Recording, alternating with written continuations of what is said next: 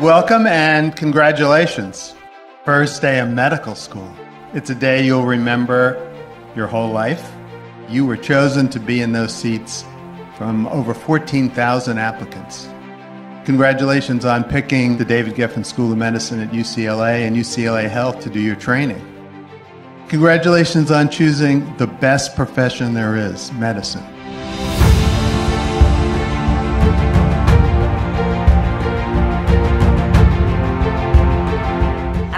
Life before I wanted to be a doctor, so it's like I feel like I've been wanting to do this for so long and it's finally here. I was almost scared to wear the white coat because I'm like, suppose somebody falls and they look at me like I don't know anything. It's just crazy that it's here and, and at this school of, of all places. It's a really unique feeling unlike anything I've really felt before. I feel like I need to fill this role, this big role of now I have a lot of responsibility that comes with that white coat. I just hoped and prayed that I would get into UCLA Medical School because when I interviewed, a ton of people were like, UCLA is just a lot of fun.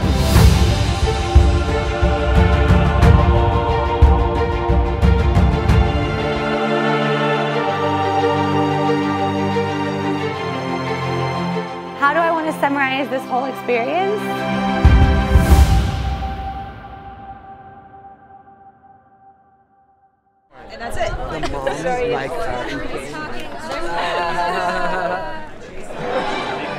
I've worked so hard and my family has sacrificed so much for, for me to be here. It's my chance to be something more than I ever thought I could be. Carly Ann Blakemore, University of California, Santa Barbara. I majored in sociology and I was volunteering with a camp for kids with life-threatening and chronic illness. Those kids had a huge impact on my life and they continue to have a huge impact on my life. What better way to be a agent of positive social change than being a doctor. My experience with my camp has always been uh, primarily with pediatric hematology oncology and I just love those kids. It would be such a such an honor for me to be able to do that, um, but I definitely want to keep my eyes open. I I choose not to go to a lot of the social events that we've had just because the time commitment is much more serious now. It's hard to kind of push down that desire to to expand our family and and and postpone that. If I look at it from my husband's perspective, he's looking at this going, "You're four years away from a paycheck. Uh, we're going to be on a single income for the next four years, and it's not cheap what we're doing. Um, and you want to add a baby to that when I see you for two hours. How does that make sense?" Just seeing like all my, my, my classmates in their coats, I'm like, man, we look good. We, we look really good. Denise Sonia McIntyre, University of Florida, Master of Public Health, University of Florida. I'm originally from Jamaica. Came here when I was a teenager and then I stayed in Florida for a while and I went to the University of Florida. I had always known I'd, I'd want to be a doctor, but I think the defining moment for me was having a mentor who was a physician of color. You know, having somebody who looks like me in the career for which I aspire was so just rejuvenating. My passion comes from from really wanting to impact not only, you know, the clinical aspect and all that stuff, but also being able to pass on this to people who you know, might have some shared experiences to me because not everybody gets to do that. It's a privilege to be a physician. I do want to work in kind of underserved communities. Um, that's very important for me just because of my background and my experiences. Those are communities I would like to give back to.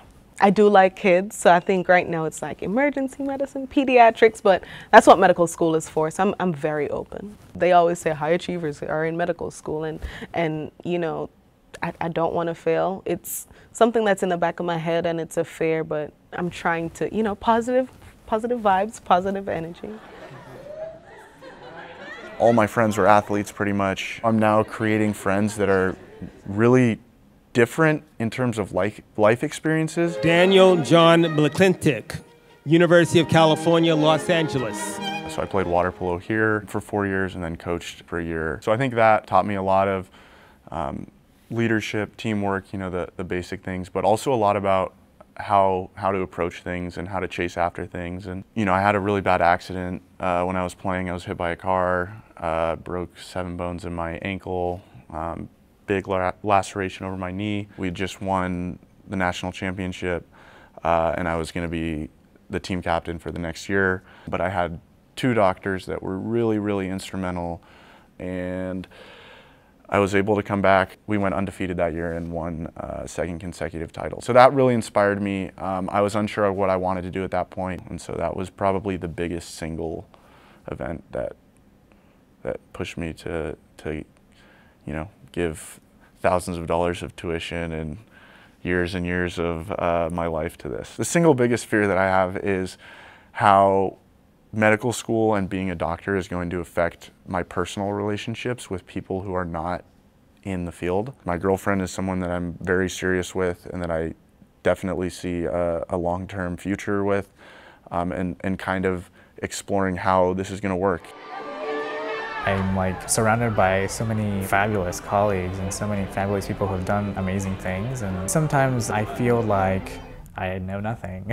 like, how am I gonna get, catch up? Eric R. Castellanos Gaither, Santa Clara University. So I was a little bit non-traditional in the sense that I took some years to work in the biotech industry. The big problem that I think I always saw was that um, a lot of the therapies that we were working on were very much geared for um, you know individuals who had a lot of resources. I was born in El Salvador, and so uh, coming here uh, when I was nine, I sort of left a lot of family back uh, behind. Some of the things that I kind of was thinking about, you know, is I'm, I'm working on this very very neat science. Um, but this science is, would never really reach anyone like my grandma. Um, and so that's kind of when it you know cemented and sank for me that I should go to medical school and I need to kind of work on research that will be a lot more universally applicable. There are a few people in our class that uh, are not 21 yet, and we were like, what? Like what? It's just you know, that seven year gap just feels like such a big gap right now. They're like, well, you've been an adult and like, you know what it's like, you know what adulting is like, and we've never really done it. So like, can you tell us a little bit about that? Someone asked me the other day about like laundry and just like basics about laundry and like, I guess like dishwasher and things like that, you know? Medicine was something that I was definitely interested from an academic standpoint. I wasn't really sure if I wanted to do research or if I wanted to be a physician. Vivian Jiayin Hu, Massachusetts Institute of Technology. And then I came to college, I went to MIT, and the MIT actually has a student-run ambulance service.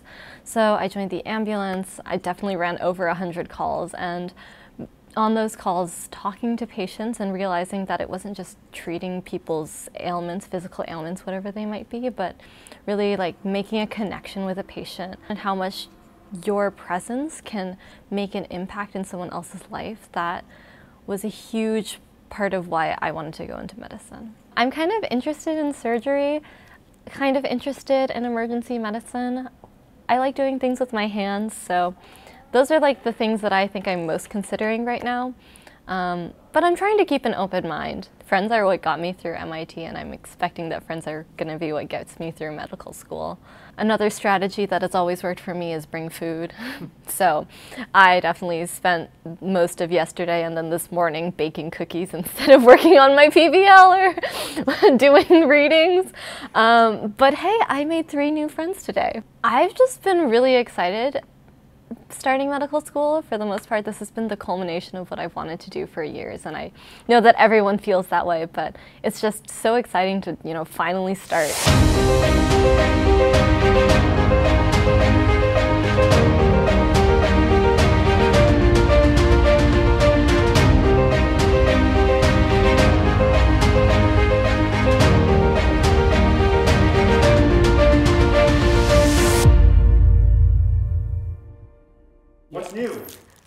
I had a baby. so this is Cambria. She's five months old today. The thing we fought about the most was the fact that I wanted a family so badly. Once I got pregnant, we really stopped fighting. so it was like, um, that was, I guess that was my thing. I'm going into pediatrics. I tried, I tried really, I did. I really tried really hard to, you know, explore other things. But those PT monk kids is that's still really where where my heart goes. Um, the pandemic was awful and still is very much so awful. It's difficult to, you know, be around sometimes horribly sick people in horrible, awful situations that just break your heart and not take that home with you. Being married and having a family in med school, I definitely think it was very isolating and it was a completely different experience. The social support that I think I could have benefited from wasn't necessarily there, and I think that would be something that I would prioritize a little bit more, definitely. Oh, well, life is hard. Life is so hard, I know. I'm a fourth year now. Um, COVID allowed me to realize that I need to realize to say I need help, if that makes sense. Being close to family was so necessary. I hadn't realized like the toll of medical school at that point, to be honest.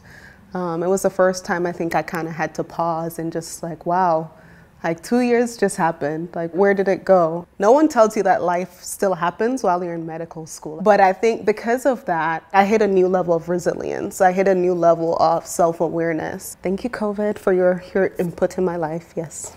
I was put in a situation where I had to be the main person advocating for a woman of color who was going through labor and I I mean I've never felt such ownership over kind of like a patient care scenario ever in my life. And it was in that moment I was like, this is where I need to be. Obstetrics and gynecology is it. This is my role. Like, I feel like I can be a voice in this space and a voice that's needed.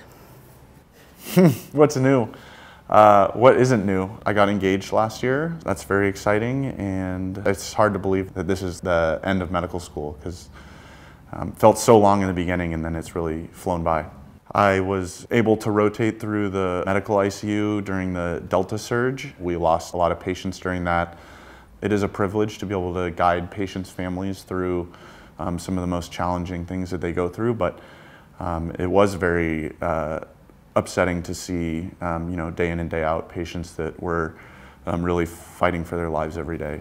There's a lot of days where I think hard about what a lot of these patients go through, what their families go through, um, and, and how tough that must be for them. I decided um, at the beginning of fourth year that I was going to apply into internal medicine. The one thing that I've told um, a lot of the younger students that I've mentored and tutored and worked with throughout the years is um, you can pretty much always switch because I switched almost as late as you possibly can. And well, I guess we'll find out on Friday, but uh, so you know what's funny is that I actually see myself having gotten at least like internally younger in the last couple of years, and I've seen all my peers actually get older. You know, I feel very content about sort of my career choice and sort of my trajectory now, and I just feel that sometimes a little bit of uh, you know playfulness or childhoodness, if you will, kind of comes out. Because of COVID, everyone was very separate, and so we didn't really see each other too much. But um, at the end of third year, the beginning of fourth year, we actually did come together for just sort of our introduction to fourth year. And yeah, that's really when I realized that, oh wow, like everyone's just grown so much and everyone's just done such amazing things during third year. And um, I think that that's when I really realized like, ev you know, every, everyone sort of, we're all at the same level now. Hopefully once the match results come out, um, I will be going into anesthesia. I want to do something that can treat everyone. Anesthesiology, I think, is definitely a field where you get a diversity of patients, a diversity of backgrounds, illnesses, everything. And I'm, I'm really happy to, to, to know that that's kind of what I'm going to be able to do in the future. I'm almost ready to graduate, which is crazy. I think the biggest thing I've done here at DGSOM has been I've been a part of the Medical Student Council. I've been working as vice president, and this year I'm currently the class president. We were all deeply affected, both with the pandemic itself, with the murder of George Floyd, we felt a lot of responsibility to give back to our community and make sure that they knew that they were supported by the school. During my third year of medical school, suddenly I decided that I wanted to go into plastic and reconstructive surgery. It was a surprise to everyone, including me. plastic surgery has a bad reputation, especially on TV shows and within Los Angeles. It's hard not to think about mostly the cosmetic side of things. And for me to realize that reconstruction is so much bigger of a part of it and that you really get to help these patients so they still feel like a whole human being. That was kind of something that I had always wanted to do and I just didn't realize that plastic surgery was that route. So match day. Match day. Match day. Match day. Match day is scary. Quite nervous, to be honest with you. We have graduation, but match day feels more important for us, I think, for most of us than graduation does. You go through medical school, you choose a specialty, you go through a process of applying and interviewing, And then on this one miraculous day, you find out where you are placed for residency. Where we're going to be living, where we're going to be training. Um, for some of us, what specialty we're going to be training in for the next three to five plus years. I'm really excited to find out where my classmates are going to end up. I think more than I am about myself. I'll be honest, it's hard to enjoy the last like 10 days before match day just because it carries so much weight. I ended up being very impressed with my top program uh, and it kind of blew me out of the water and I, I hadn't thought about that area at all. It was Wisconsin, dude. Like Madison, Wisconsin. What? Like it snows there for months. It is still cold now. Like that's crazy. I'm gonna die. The day I graduate, that's it. I am going back to Florida. Like I don't want to see LA again. Like the West Coast is not the best coast. Like let's go. Um, many of my interviews are in California, so I think I jinxed myself. It would be a really good growing experience for myself and for my fiance to move and um, kind of have a, a, new life experience. I ranked uh, Brigham first, Brigham and Women's in Boston. I think I would like to go back home. Um, so I'm sort of, I have, you know, the Bay Area uh, programs really up there. There were almost 400 applicants in plastic surgery, and there are only around 180 spots. Good. I'm feeling very excited. Uh, anxious. We've all been waiting for this day for a very long time. Getting ready to just get it over with and open that envelope. This important and exciting event marks an important threshold in our careers. And we're confident no matter where you next train, you bring with you the education and the values of your training at UCLA.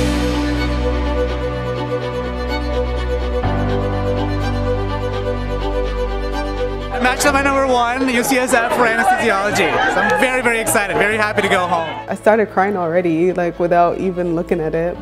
And then I opened it and it said USC and I was like, oh my gosh.